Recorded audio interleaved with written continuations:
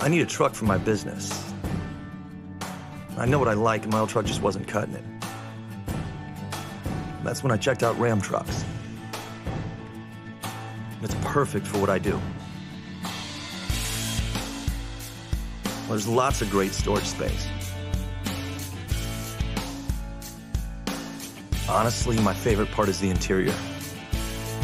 Lots of leather in here. The technology is great.